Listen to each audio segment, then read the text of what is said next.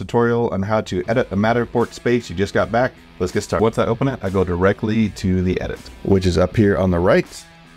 Click edit. Now these are the basic steps I do to a standard residential property. So once I open it up, I start to the far right and I hit my start location and I click the preview of the start location to see how my dollhouse looks and to see how it flies in. Now, obviously I do not want to start with this view Usually I want to be in the kitchen, showing the kitchen. So I'm going to set up my camera angle, make sure everything's level.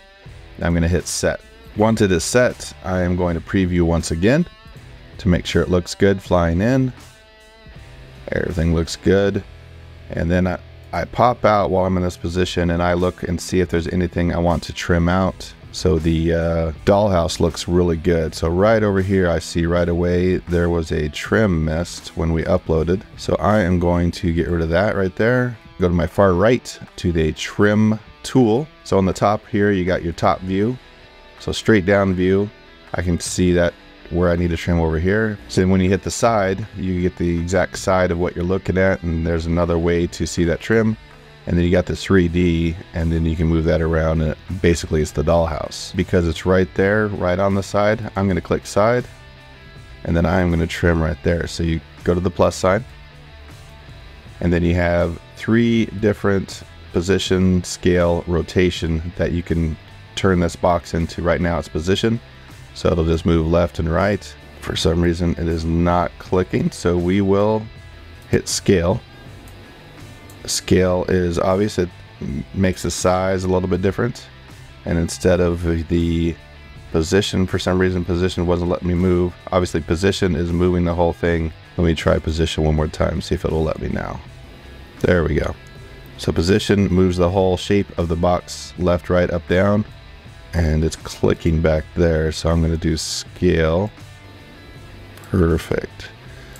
And then rotation if I want to rotate it one direction or the other, just trim it off to make it look good. You got the rotation that can get that specific. All right, I want to go back to 3D, make sure I didn't crop off anything too much. I'm going to hit this check mark, it makes that disappear. And looks pretty good. The next thing I do is I go to the side, this specifically, they just wanted the straight up Matterport, so we're gonna skip all this information and then go to 3D scan. A really good thing is have different levels that you charge. One is people just walking through, another is you can label, tag things, add links. That's a lot more time consuming, so you have you should have different charges at different levels. At the end of this video, I will show how those work. All right, so then I hit go to my scans, 3D scans, and this is where I remove all the extra scans that you don't need. Right away, I go to the floor plan view, and then I switch it to floor one, if that's where I started. And then I click over here, scan one. I love this view because I can see right where all the extra scans are. And for the most part, I can hide all the scans without having to spend too much time walking around the tour. So number one, I actually don't need because that's right by the garage door and you don't want to be too close to something like that. Uh, number two is good. Number three and four, I do not need because I want people to be able to walk. So they click here, they go into the laundry room, and then they'll be able to click on the garage door to go out to that picture I'm going to attach here in a little bit. All right, so we went from seven to 8 and then back out to realign at 9. So we're going to hide number 9 because we don't need 7 and 9 together. 10, 62, 63, 64 are all lined and 11. So we don't need 11. We do need 12. And then I'll explain how to do the stairs when we go back. So we do need 12. 13 is a stop between two walls. We do not need 13. So we're going to go to 12 and then we're going to shoot over to 14. And the reason I do the start location first is so I don't accidentally hide the scan that I want to use for start location. 19, let's take a look at it because it's close to the stove and the sink. So I think that'll be, even though it's close to everything, I think it'll be a good one to keep because it does a great view, shows all the details. The sink is clean, so we will keep number 19. Go back to the floor and I will continue on.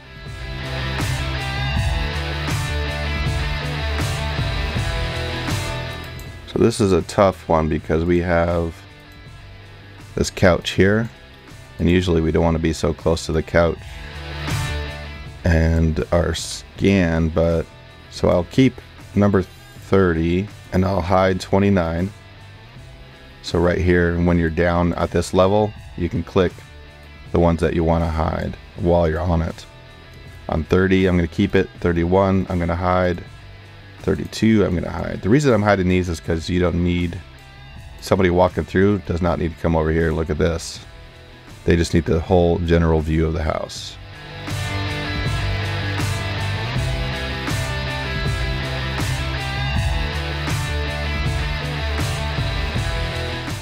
Floor plan views so I can see what we got.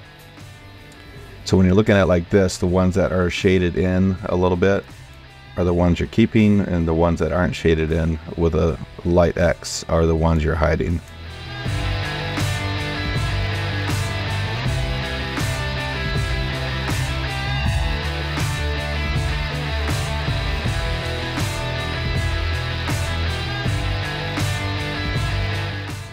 All right, so after we scanned these, we went back to the stairs. That's why it's important when you're standing in front of stairs or places you might go back to. Because when we were at 61, and then we jumped to 62, we made sure that it lined up. If it, if this 62 didn't go onto that first step, we would have went back down here around where 10 was and try to realign it there what Matterport tries to do is from your last scan, so this is 61, number 62, it tries to line it up here, but if it can't, if it doesn't make sense, it's going to search all over the house for the next location that matches a scan. 10, 62, 63, 64 are all linked together. We do not need all those. And then let's see where 65 is. Let's show all the floors. 65. So I'm to get rid of 64 and then I'm to come down here and see if I can go all the way to 65 with just clicking up there. I can. So I'll probably leave it like that so because you don't need to necessarily take each step while you're walking up.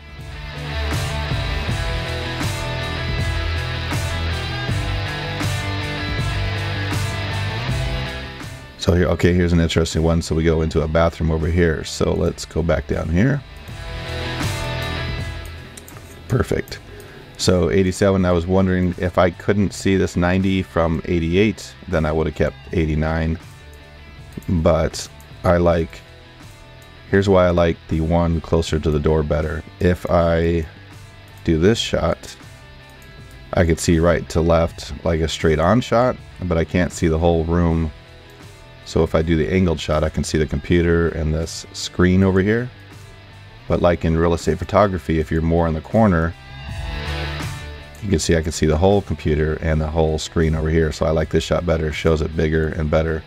And so I'm going to hide 89 and I'm going to go into 90. 90 will work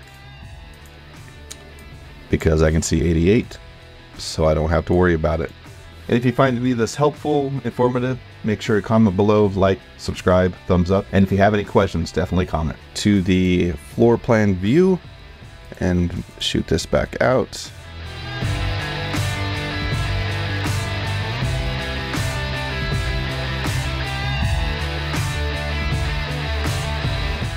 Now, once you're done with the scans, I like to preview and then I'll walk through the whole house making sure that it actually works and there's no glitches. I'm able to go into every room uh, and go to the right scans. You can see all the scans in between are gone. You only see the ones that we kept shown. Hit edit again up the top right.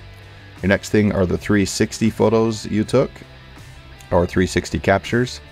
Uh, this is a pretty nice backyard. Also had a balcony and other things. We made sure to capture all those so we could attach them to the basic floor plan.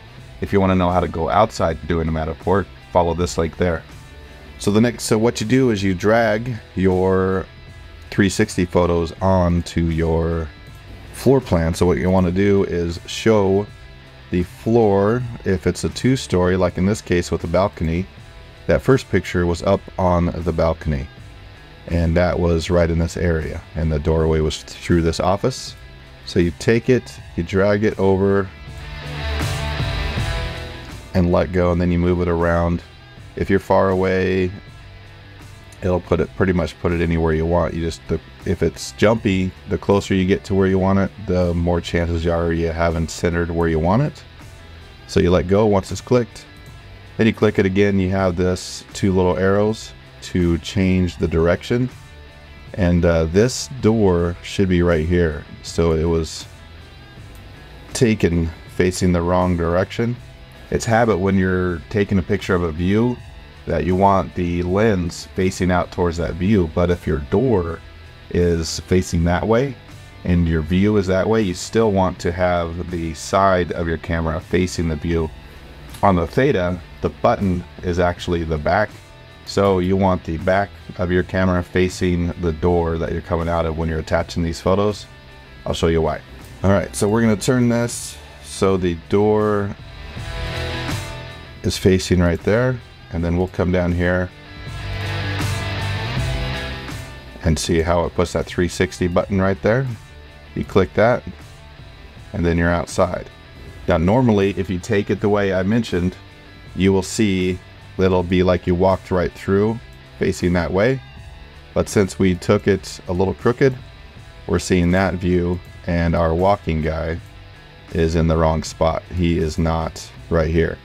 If we had taken the picture with the camera facing the correct way, that walking guy would be right there. We could play with the adjustments. Let's go back inside. Click the 360 and click this one again. And then turn it. So if I turn this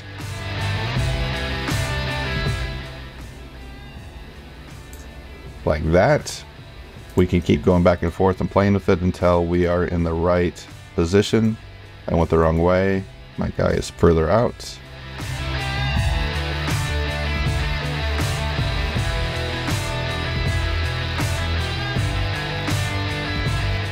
So anyway, if you do the picture the correct way, it will line up a lot quicker than that. Let's move on to the next one.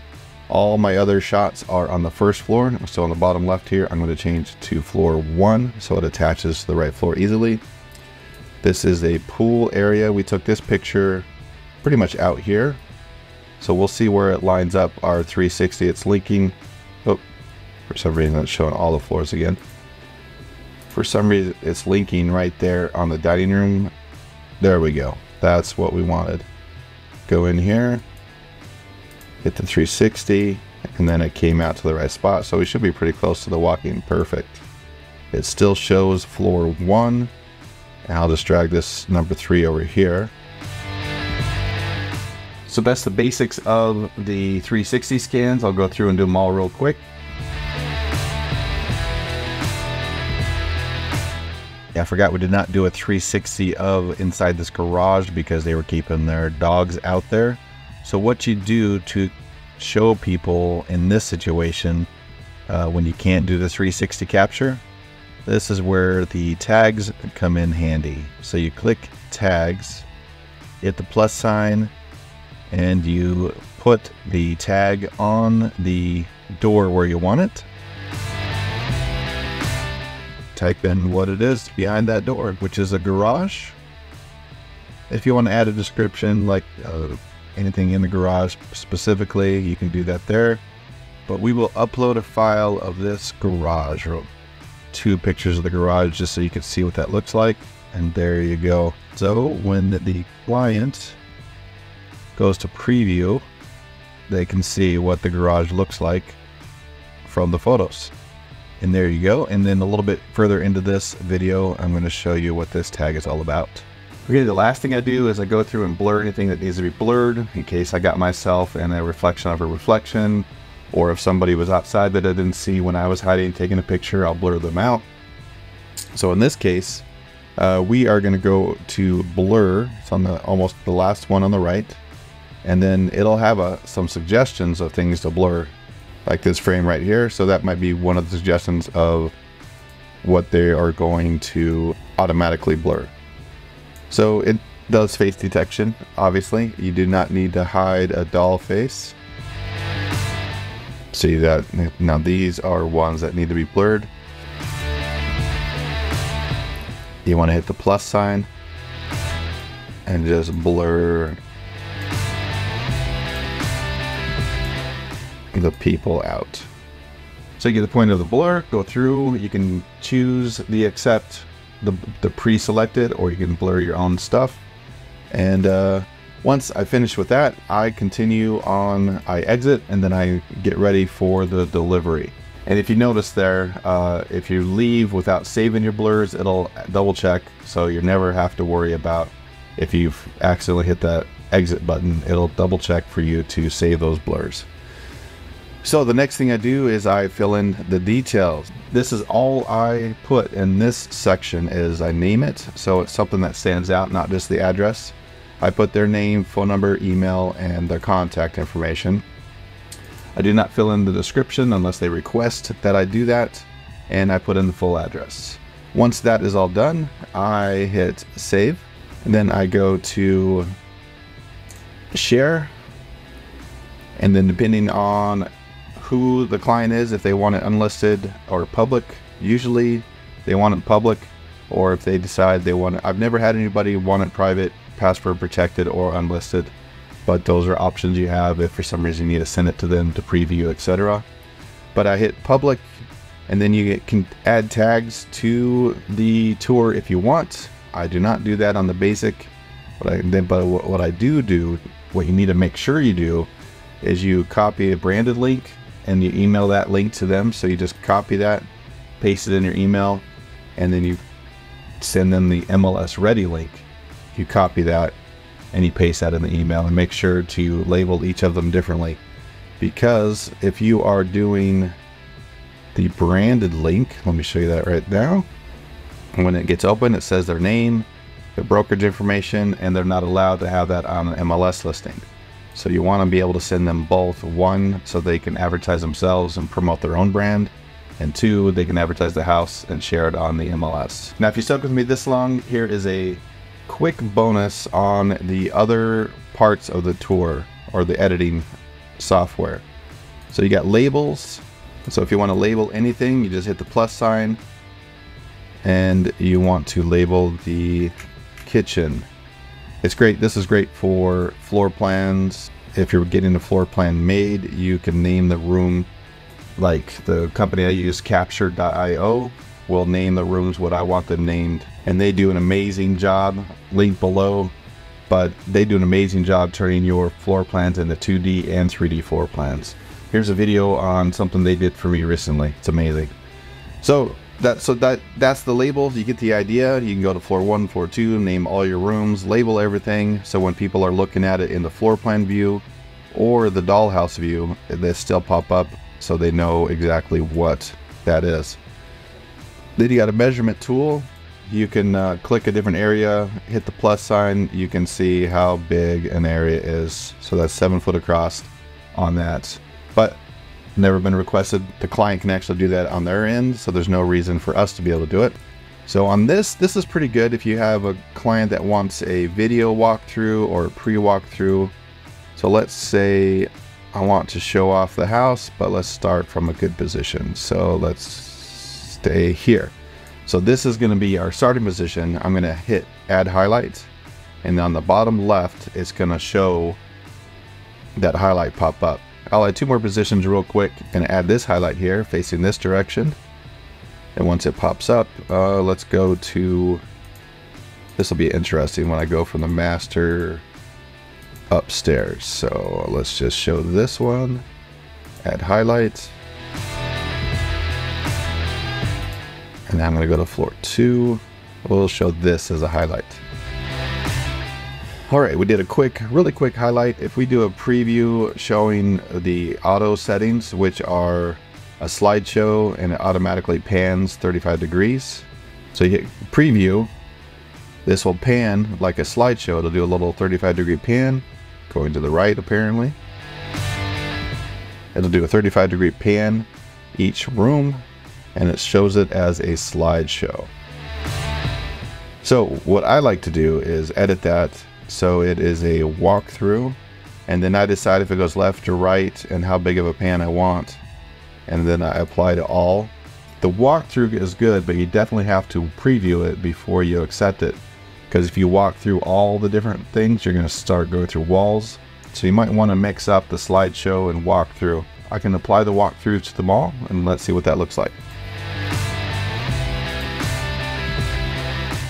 So it does your pan and then it acts like it's walking to the next position and then it's to realign to your starting position. And then it's basically walking to each scan in between where you decided to walk. Now it did pretty good. There was no really big parallaxing or anything like that. So let's see how it does when we go back up the stairs. So right there is some issues. So you might want to do a walking position to miss going through the island, but it does a pretty good job. Now this would be great for like a quick social media video you create for your clients, a quick post. You could speed ramp it, put music to it. All right, so that's the two difference on walkthroughs. It can be really helpful in upselling your Matterports, but if you don't have enough time to do that, again, you could use capture.io. They will build that for you They'll do a lot of stuff and you even get a website through them to create that specific kind of walkthrough and share with your clients. It's a great upsell. And then you got your tags. So if there is, especially on a custom home, let's say this couch is an antique couch, and then you save that, and then you want to preview. Let's go back to that section. And then when you click it, all that information is there. They could click the link, share it, etc.